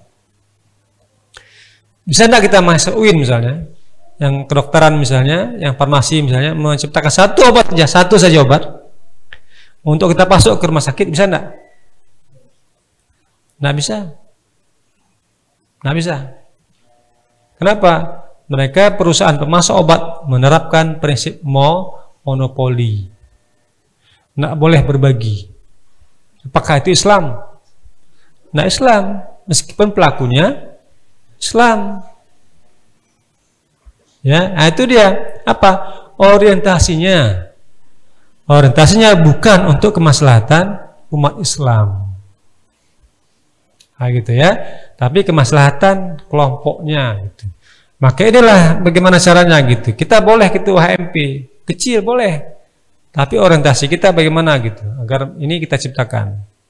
Ya kan? Nah, gitu dia agar kita mahasiswa kita ini prodi bersifat kompetitif. Kita buat misalnya program-program unggulan misalnya kompetisi lomba-lomba tingkat nasional untuk mendorong agar mahasiswanya menjadi lebih kreatif ketika lulus nanti dia mudah diterima pasar segala macam dan memiliki orientasi yang jelas. Ya, ini yang paling penting. Kalau itu tidak, maka kita tidak akan maju-maju. Oke, kenapa Islam sekarang di Indonesia seperti ini? Eh, itulah jawabannya. Orientasinya berpindah dia dari kemaslahatan umum ke kemaslahatan kelompok dan pribadi. Clear itu kira-kira? Clear ya. Baik. Nah, di bawahnya tadi ada yang namanya dibutuhkan eh, kemampuan internal pribadi. Tadi yang ketausul bagus-bagus tadi. Tadi misalnya sidik, amanah, tabligh, patanah itu in individu kita, individu kita gitu. Tapi itu tidak cukup. Ya kan? Itulah perlunya pelatihan-pelatihan yang seperti ini. Misalnya, apa yang apa yang ada di situ misalnya untuk kepentingan pribadi adalah ke, apa namanya itu sesuatu yang harus ada yang di luar dirinya. Oke? Sesuatu yang harus ada di luar dirinya. Kalau tadi di dirinya nih, sidik, amanah, tabligh, patanah, berakhlak, berkarakter, apakah berani, alim, cerdas, percaya diri, itu semua namanya ke pribadi si pemimpin. Tapi itu tidak cukup. Dibutuhkan yang di luar dirinya. Apa misalnya network, membangun jaringan, bekerja sama kelompok, teamwork. Nah, itu di luar di luar dirinya. Ada orang cerdas dia, berakhlak dia, tapi tidak bisa teamwork. Berhasil tidak? Tidak berhasil. Dia hanya cerdas untuk dirinya, tidak bisa mencerdaskan orang lain. Kenapa? Dia tidak bisa kerjasama. Teamwork, main solo karir sendiri saja. Kok menjago-jago sendiri, mau kaya-kaya sendiri, mau pintar-pintar sendiri. Nah, gitu dia. Itu tidak anda cukup seperti itu. Jadi harus ada yang di dalam dirinya dan di luar dirinya. Nah, yang di luar tadi tadi termasuk yang kita godok seperti ini itu kita belajar untuk di luar diri kita. Ya misalnya kita network misalnya. Ya kan? Multi level jadi kalau kita misalnya mau gerakan tertentu misalnya tidak bisa dari kita. Tapi kita mengajak orang lain. Ya kan? Di situlah yang dibutuhkan namanya seni. Kan? Seni mem memimpin. Ya kan? Ada kawan kita tidak jago dia tidak jago. Tapi dia mudah angkat-angkat air atau jangan dimarahin ya? Sering itu mimpin, alah bodoh kali ini. Nggak usah pakai. Jangan. Ya kan? Nah boleh. Ya kan? Kenapa? Dia rajin ngantar-ngantar surat. Orang pintar mau nggak buat buat surat, antar surat mau nggak? Nggak mau. Dia bos lah orang pintar, ya kan? Paling kurang dia ngonsep surat. Nah, jangan sudah orang pintar yang ngantar-ngantar surat. Nah level dia bilang. Ya kan? apalagi angkat-angkat air galon nah nggak mau dia. Nah, gitu. Itu suruh semua orang yang orang yang biasa-biasa. Kesetiaan orang yang dalam tanda kutip kemampuan akademiknya biasa-biasa itu lebih setia. Itu kan? Daripada orang yang pintar. Nah, ini kita bagaimana memanfaatkan yang pintar juga memanfaatkan yang biasa-biasa. Nah, itu seni namanya kan? Seni mem memimpin nah gitu dia. Ya kan? Suruh piket sering-sering. Itu orang yang biasa-biasa. Orang pintar namu dia piket. Dia mending dia ke per, perpustakaan. Nah gitu. Ya kan? Ini digital lah ada itu namanya di pemimpinnya. Jadi bagaimana yang dia memiliki yang di luar dirinya. Nah gitu dia. Dia mampu ngajak kawan-kawannya segala macam itu kan? Nah ini ini yang dia harus dimiliki oleh dua oleh pemimpin. Jadi tadi pertama orientasinya jelas kan? Menciptakan kemaslahatan tadi dalam berbagai aspeknya. Yang kedua, dia memiliki karakter individunya yang tadi kita sudah sebutkan tadi. Ya kan? Yang ketiga adalah karakter atau sifat yang di luar dirinya. Nah, itu kalau mau menjadi pemimpin yang sukses. Ya. Nah, ingat, kalau mana lebih sukses kerja sendiri kalau di HMP dengan kerja bareng-bareng? Kerja bareng-bareng lebih enak. Ya kan? Apalagi bisa kumpul-kumpul ada makan-makan kue. Daripada sendiri di rumah stres. Seringnya ini tidak kita manfaatkan ketua MP dia sendiri. Buat surat sendiri ngetik surat sendiri ngantar surat juga sen sendiri. Minum kopi sendiri.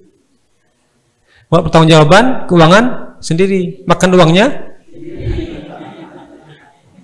Ya. Rame oke baik. Baik ya jadi baik ini sudah jam 6 Tadi saya diminta waktu sampai jam 6 Ada pertanyaan kira-kira? Satu atau dua kalau tidak kita padai. Ada, ada.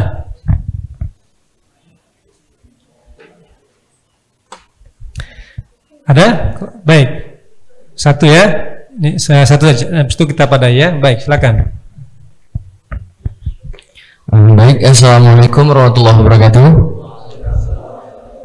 Terima kasih kepada pemateri sudah memberikan waktu saya dan juga teman-teman yang sudah berada di sini. Uh, langsung saja ke pertanyaan saya. Uh, jadi gini, uh, saya bercerita sedikit saya. Uh, jadi dulu saya pernah uh, kerja di luar Aceh gitu sebelum masuk kuliah. Uh, jadi saya melihat ada sebuah desa yang mayoritasnya Muslim, mayoritasnya Muslim tapi pemimpinnya itu non Muslim. Nah dari uh, pembahasan kita tadi banyak yang yang sifatnya itu uh, di dalam kampung itu mayoritas muslim tapi tidak bisa menjadi seorang pemimpin dari banyak uh, materi tadi. Tapi uh, dari bapak non muslim ini dia bisa mencakup semua itu. Tapi uh, dari dalam luar konteks Islam. Tapi dia bisa mencakup dengan keadilan dia dengan uh, cara dia memimpin. Nah jadi saya ingin bertanya bagaimana pendapat bapak tentang pemimpin yang non, yang non muslim dari uh, mayoritas orang muslim karena di mayoritas orang muslim itu tidak tidak ada yang mempunyai sifat pemimpin seperti yang kita bahas tadi. Terima kasih. Assalamualaikum warahmatullahi wabarakatuh. Assalamualaikum warahmatullahi wabarakatuh. Menarik ini ya. Ada ada orang Islam, tapi dia nggak mampu memimpin seperti yang tadi kita bahas. Malah itu bisa dilakukan oleh orang non Muslim. Bagaimana itu gitu? Oke, ini saya jawab melalui dua hal. Pertama saya jawab dulu melalui bank lah. Ini hanya ilustrasi nanti dikiaskan sendiri ya, dikiaskan ya, kiaskan. Bank Islam pertama sekali maju selain di daerah Arab itu adalah di Inggris. Aneh kan? Itu era 80 eh 90-an bank Islam, bank syariah itu ya kan yang paling maju itu di Inggris. Aneh. Islam kenapa Inggris yang lakukan? Karena mereka bukan bukan bukan mayoritas muslim. Setelah diteliti, apa jawabannya? Dia mereka bilang sistemnya sistem ekonomi syariah itu menurut mereka dalam bahasa gaulnya gue banget. Gue gue banget kata mereka. Kira-kira gitu apa artinya? Sesangat sesuai dengan karakter mereka. Ya masyarakatnya tidak suka bohong. Masyarakatnya jujur. Masyarakatnya amanah. Kalau ada orang bohong itu dianggap memalukan sekali kalau nanti baca buku satu buku uh, Jaludin Rahmat namanya tentang pendidikan anak, ada satu uh, keluarga dia memenjarakan apa mengurung anaknya di bawah uh, ruang ruang kamar bawah kamar bawah dari kecil sampai dewasa walaupun itu kejahatan karena anaknya tidak jujur itu aja orang tua itu memang kelewatan dia tidak tidak pidana kan tapi tapi yang mau kita katakan begitulah mereka tuh ketidakjujuran itu nggak masalah Kawan saya dapat bantuan dari Jerman. Saya tanya, bagaimana keuangannya? Payah enggak? Katanya orang Jerman dia nggak pernah periksa keuangannya. Loh, kok enggak periksa? Ya Pak, dianggapnya orang Indonesia sama seperti orang Jerman. Jujur. Tidak menyelewengkan dana. Nah, gitu. Ternyata orang Jerman keliru dia. Dia pikir kita sama dengan mereka. Dengan Jerman itu, kita jujur. Ya, maka produk-produk Jerman itu luar biasa bagusnya. Nah gitu. Kalau di Aceh jalan yang dibuat itu yang paling bagus adalah jalan yang, di, yang diawasi oleh oleh bule tahan puluhan tahun.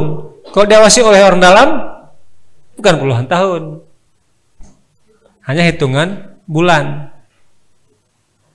ya kan? Nah, itu, itu itu apa mau kita bilang kira-kira jawabannya itu? Begitulah orang punya orientasi yang jelas dia tentang kemaslahatan. Ya, tentang ke kemaslahatan.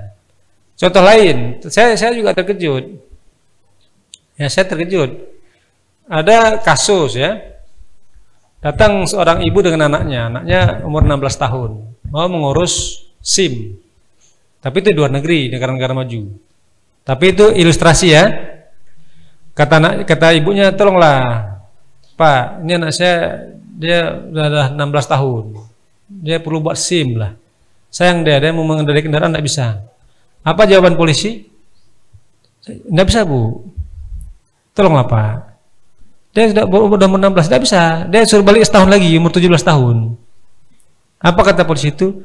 Sayang bu, kalau dia saya izinkan memberi saya beri SIM dia sekarang, terus dia membawa kendaraan, ya umurnya belum sampai, yang celaka dia dan orang lain. Ingat ya, yang celaka dia dan orang lain. Bukan saya kata polisi, polisi habis SIM selesai kan? Ya kan? Si polisi yang kalau kita, polisi kita dia bukan kemaslahatan dia orientasinya, tapi ya kan? Ada ininya, ya kan? Beda kan? Beda orient, orientasi. Orang beserta kemaslahatan dia. Nah. Jadi maka muncul itu orang bule itu dengan negara maju itu dia akan agamanya dia masuk neraka. Bukan karena perbuatannya. Kalau lihat perbuatannya dia masuk surga. Nah, kita enggak. Nah, kita kalau lihat perbuatan nah, masuk neraka semua. Apa yang kita miliki hanya i, iman, syukur bisa ada iman. Nah, ya kan kalau kita nggak ada iman habislah kita kan, kira-kira gitu. Ya, itu, itu ilus ilustrasi. Nah, cuman kita satu aspek kalau ada pemimpin yang muslim, pilihlah pemimpin yang muslim. Itu perintah Al-Qur'an. Ya kan? Sejelek-jelek pemerintah muslim masih dia biarkan pada Ramadan azan ngaji keras-keras ngaji keras-keras ya kan ingin hati kita kan kalau orang non muslim nggak tentu kan nah gitu. Dia adil tapi urusan agama dia bilang ini urusan agama urusan pribadi. Dia bilang kita mau azan nggak boleh. Mau khutbah nggak boleh. Khutbah keras-keras kan? Nah itu dia. Maka kalau ada yang muslim pilihlah yang yang muslim. Nah gitu, karena ada banyak rahasia yang kita tidak tahu, ya kan? Nah, itu kembali ke tadi, ya harus merujuk ke Al-Quran dan hadis. Baik, baik demikian saya rasa uh, mohon maaf atas segala kekurangan, mungkin ada yang tidak berkenan. Saya akhiri, assalamualaikum warahmatullahi wabarakatuh.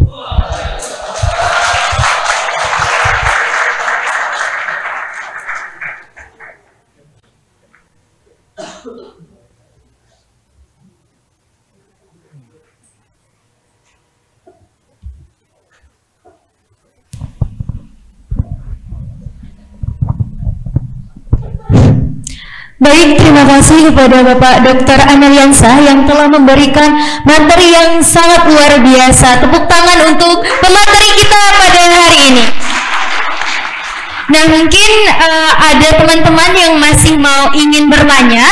Jadi selanjutnya kita akan memasuki sesi tanya jawab. Mung uh, saya persilahkan satu orang untuk bertanya, sebutkan nama, asal, pertanyaan dengan singkat, padat dan jelas. Ada yang ingin bertanya? Baik kepada kakak.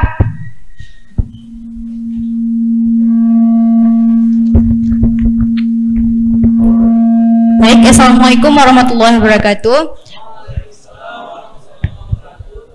Nama saya Uliani uh, dari Fakultas FISIP, Prodi Ilmu Administrasi Negara, uh, Universitas UIN Araniri Banda Aceh. Saya ingin bertanya, um, Bagaimana pandangan Bapak terhadap kepemimpinan wanita? Menuju kepada agama kita yaitu dalam agama Islam, wanita ini adalah sebagai makhluk yang dilindungi. Terima kasih, Pak.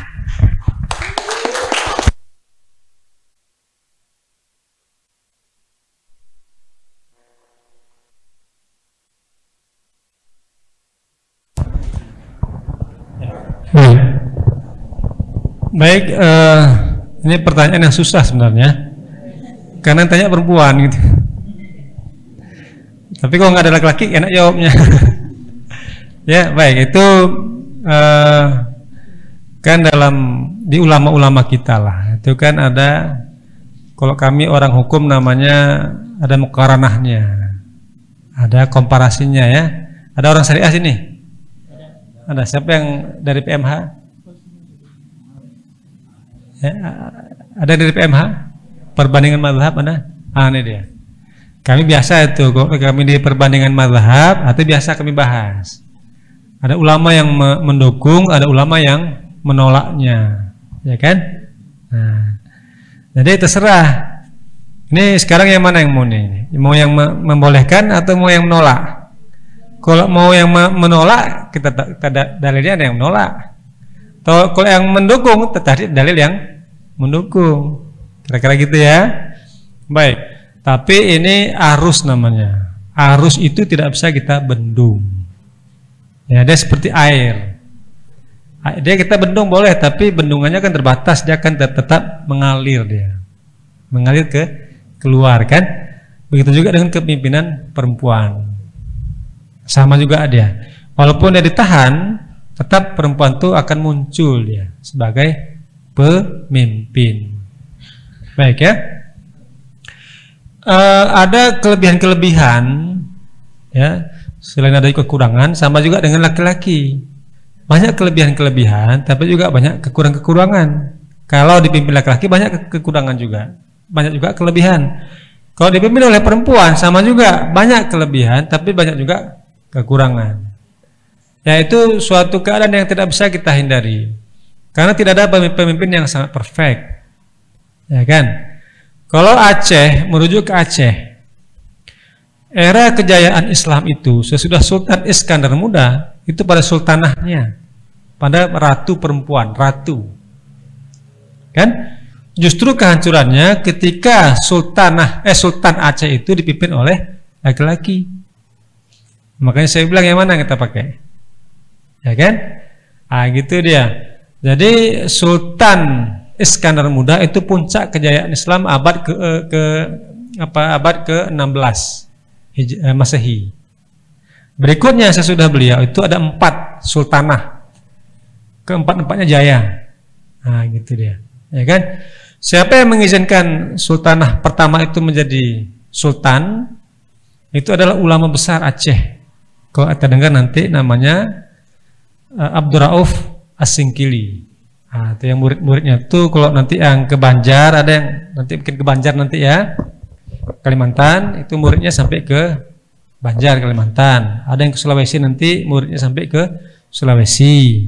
Ya, ulama Nusantara, ulama Asia Tenggara yang pertama sekali menerjemah, membuat tafsir Al-Quran dalam bahasa Melayu adalah beliau.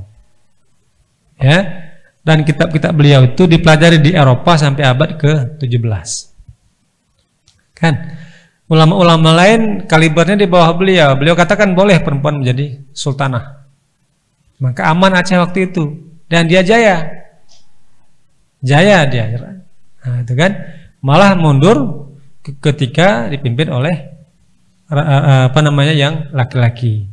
Meskipun banyak faktor.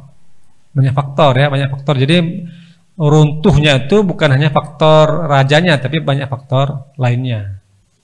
Nah, kemajuan pemimpin perempuan bukan hanya karena faktor dirinya tapi juga faktor yang lainnya. Nah, ini kan rektor misalnya, ketua HMP misalnya, rektor misalnya menteri, kita lihat banyak yang perempuan dan banyak yang maju. Kalau kita banding-banding kadang-kadang banyak yang maju, lebih maju program perempuan. Ya kan? Jadi ada hal-hal tertentu itu lebih cocok dipimpin oleh perempuan. Ada hal-hal tertentu lebih cocok dipimpin oleh laki-laki. Ya kan? Nah, gitu dia.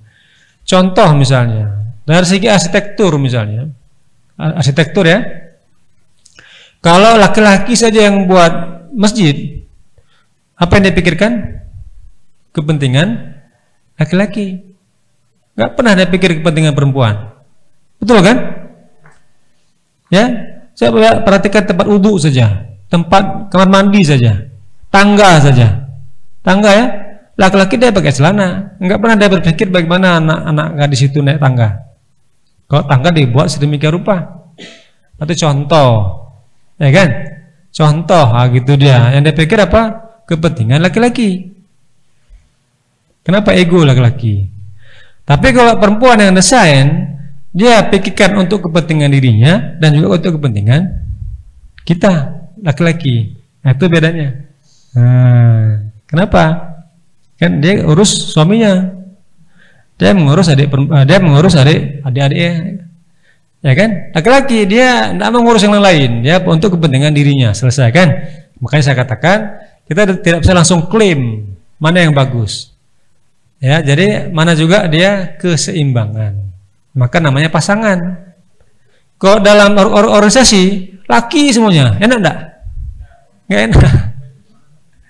Makanya perhatikan, kalau ketua HMP-nya laki-laki, pasti dia pilih sekretarisnya perempuan. Sekretaris itu dia masuk kategori pimpinan. Menjabatannya se sekretaris. Bendahara, ada nggak yang pilih bendaharanya cowok? Jarang. Tetap dia pilih perempuan. Jabatan bendahara itu adalah jabatan pim pimpinan. Nah, gitu dia. Jadi harus pasang dia. Nggak enak. Atau perempuan semuanya enak nggak? Nggak enak juga. Nggak ada daya tariknya. Ya tidak ada daya daya tarik. Ya itu panjang kalau kita bahas ya.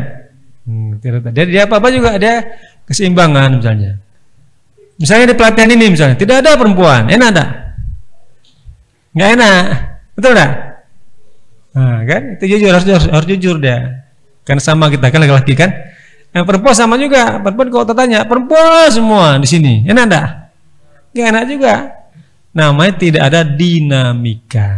Nah, kan? Dina dinamika ada itu ada saling melengkapi namanya pasangan laki-laki perempuan.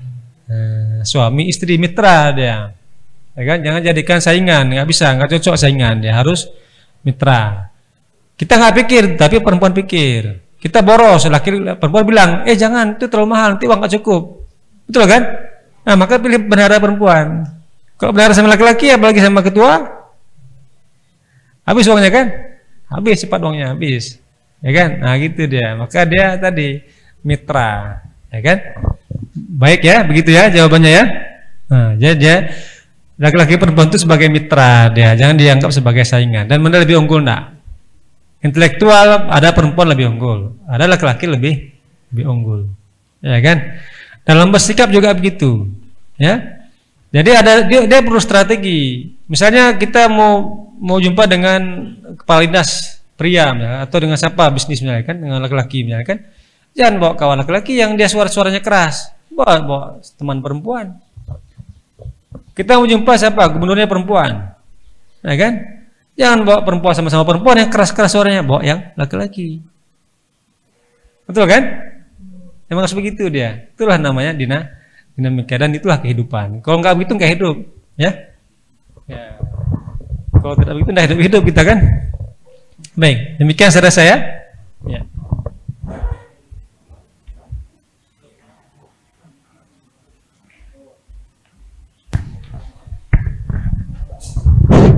Baik, terima kasih kepada peserta yang telah bertanya dan berikan tepuk tangan kepada pemateri kita. Nah, setelah uh, waktu kita saat ini, uh, langsung saja saya simpulkan tentang materi kita pada hari ini yaitu orientasi kepemimpinan dalam Islam. Nah, berbicara tentang orientasi teman-teman, kepemimpinan adalah bagaimana cara seseorang mempengaruhi orang-orang untuk bersedia berusaha bersama-sama untuk mencapai tujuan berdasarkan ajaran Islam yang berlandaskan Al-Quran dan Al-Hadis. Nah, orientasi itu sendiri adalah uh, aspek menciptakan kemaslahatan dalam berbagai uh, dalam berbagai aspeknya gitu. Dan pemimpin dalam kepemimpinan harus diisi oleh dua unsur. Yang pertama itu unsur diri dan unsur orientasi. Unsur diri ini meliputi sikap-sikap atau sifat yang harus dimiliki oleh seorang pemimpin yang di mana ada uh, sifat uh, sidik, amanah, tablik, dan katanah. Dan seorang pemimpin juga harus memiliki visi dan misi sebagai arah tujuan dalam suatu organisasi. Nah, yang kedua, pemimpin harus memiliki karakter di luar dirinya atau orientasi seperti teamwork dan network dan sebagainya. Mungkin hanya itu yang dapat uh, hanya ini saja sesi kita pada hari ini. Saya sebagai moderator mohon undur diri. Wabillahi taufik wal hidayah. Wassalamualaikum warahmatullahi wabarakatuh. Assalamualaikum warahmatullahi wabarakatuh. Kepada moderator dan seleksi dipersilakan kembali ke tempat semula.